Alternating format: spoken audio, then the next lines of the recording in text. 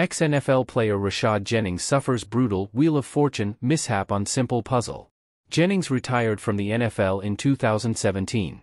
Former NFL running back Rashad Jennings is apparently not too familiar with the work of famed Hollywood director Quentin Tarantino.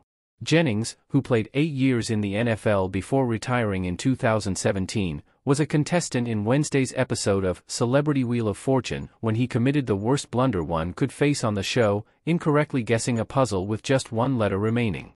The former New York Giants player needed the letter Q to complete the puzzle, driving to Reno with Quentin Tarantino, but instead shouted the letter P.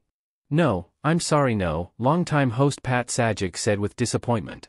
Jennings, 38, was playing for his organization the Rashad Jennings Foundation. We focus on health, leadership, mentorship and reading, he said in a video posted on social media. Literacy is a big deal to me. I grew up with a 0.6 GPA at one point in time, overweight chubby kid with glasses, asthma and I've overcome that to become a New York Times bestseller and I have a reading challenge in about over 500 schools right now. We've had over 500,000 books read in the last 10 years, something I'm very proud of and we're going to continue to do. But Jennings made light of the mishap while teasing his appearance on Instagram. Catch me on Wheel of Fortune tomorrow night. You will definitely get a laugh, he wrote in a post. Jennings spent eight years in the NFL. He was drafted by the Jacksonville Jaguars in the seventh round of the 2009 NFL Draft.